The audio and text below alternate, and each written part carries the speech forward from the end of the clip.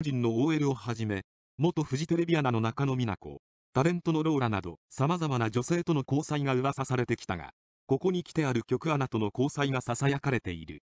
フジテレビの竹内由香アナとの交際が噂になっています。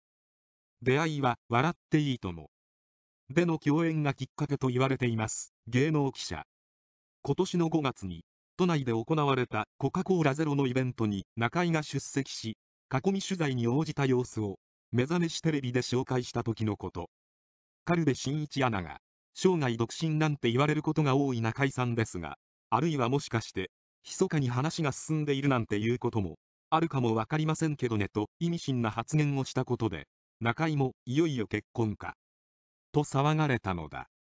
竹内アナと竹内優香アナは、通称ナンバーワンジミアナと呼ばれるほど、女子アナ界では存在感が薄い。そのため、中井との関係も全くのノーマークでした。中井は、去年、今は、亡き父親の誕生日パーティーに竹内アナを招いて紹介。その時に、中井の父が、ゆかさんの料理美味しかったよ。ありがとうねと言って喜んだそうです。竹内アナのことは、ジャニーズサイドから観光令が敷かれているのか、後追い、記事が全く出ていない。